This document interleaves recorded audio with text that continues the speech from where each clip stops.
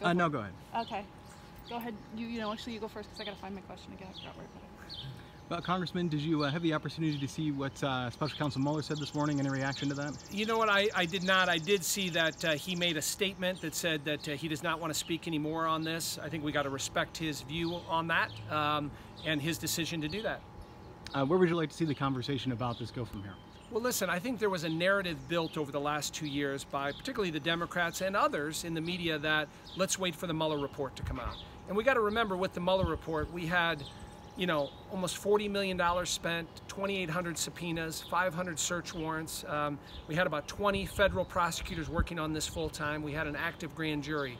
And we got the summary of that. And the summary was there was um, no collusion between the Trump campaign uh, and Russia. Secondly, there was no charges brought on obstruction of justice. So um, I know that's not the narrative that maybe the Democrats wanted, but we need to move on. Uh, we need to move on from the Mueller report. We have many important things that we should be focused on in this country. And frankly, um, I think the Democrats are chasing ghosts that don't exist there. And the fact that Mueller doesn't want to testify on this, that let, he lets his report speak for himself, I think we need to move on. And as a former federal prosecutor, I was someone that supported Bob Mueller, told him his investigation ought to go on the way that he intended it to. But now that we have the conclusion, we have the result, we have to move on.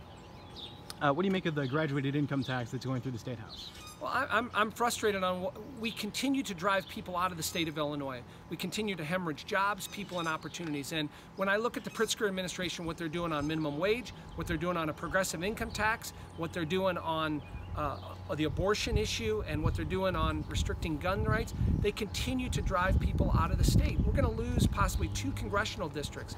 Uh, and it's because of the policies that are dominated by Chicago that are hurting uh, communities downstate, and I see that every single day, and so it's uh, it's frustrating.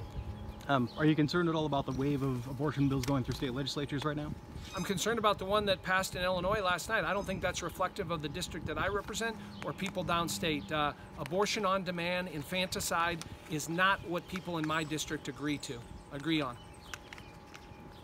All right. Um, so, what do you think about Supreme Court justices being confirmed in an election year? Obama said no to it, and Trump might do it. What do you think on that? Well, I think we're getting uh, ahead of ourselves. Uh, that that is not the case right now. We'll see what happens. Um, currently, we have a full slate of the U.S. Supreme Court with nine justices.